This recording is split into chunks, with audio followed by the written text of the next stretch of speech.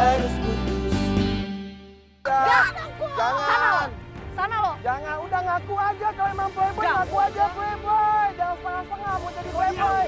Eh, Ya apa? Emang lu ketahuan. Sekarang lo lihat kan kalau cowok lo itu ya selain nembak lo juga punya pacar udah enam bulan mereka Berapa pacaran. orang cewek brother? Jago juga lo bohongin cewek. Tapi yang gue bingung ekspresinya Meta bukannya sedih, dia cuma kecil. Saya sudah tahu kok sama itu video.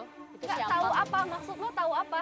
Tahu kan itu sudah dijelasin itu siapa, perempuan itu siapa, kau juga sama dia. Saya nggak apa-apa. Sorry, jadi maksudnya lo tahu dia punya selingkuhan? Iya, Lo tahu dia punya selingkuhan dan ini adalah respon dari lo? iya.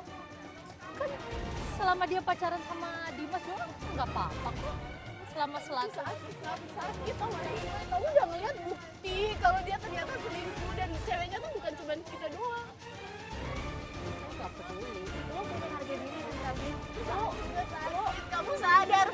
Aku tuh sahabatan sama kamu karena aku tahu kamu tuh cewek yang pintar bukan cewek yang cinta buta sama dia.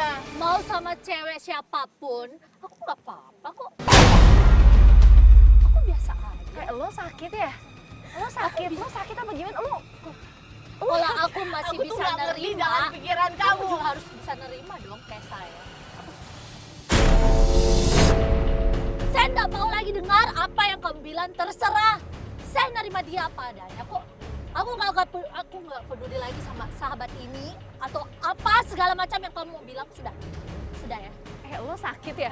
Ini yang dinamakan apa ya cinta buta mungkin di mana rasa cintanya dia terhadap seseorang itu bisa menutup matanya tentang segala kejelekan orang itu tentang segala kebaikan yang ada di sekitar dia fokus dia cuma satu orang yang dia cinta entah itu orang yang tepat atau bukan Mereka langsung cabut berdua karena malu di sana.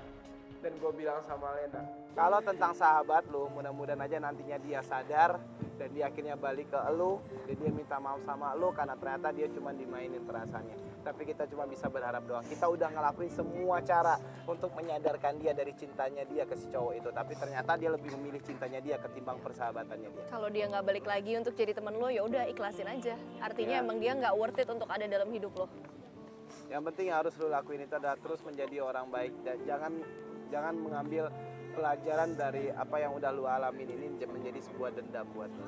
Ya ikhlasin tentang orang yang jahat sama lu.